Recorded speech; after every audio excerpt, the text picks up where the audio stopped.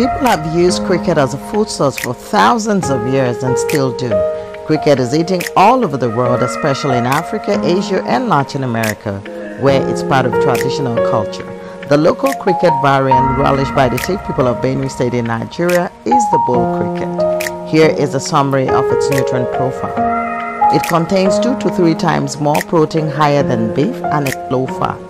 Cricket contains a type of insoluble fiber known as chitin.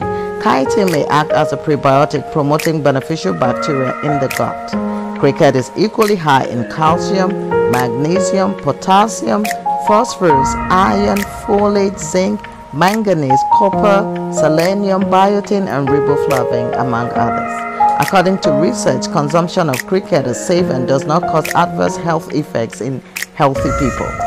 Having said, it is important to source your cricket from trusted sources as some may become contaminated with pesticides and other toxic chemicals due to how it's handled and or the area it's gotten from.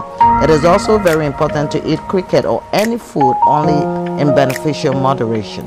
For more on meat alternatives, kindly subscribe to our YouTube channel. Thank you.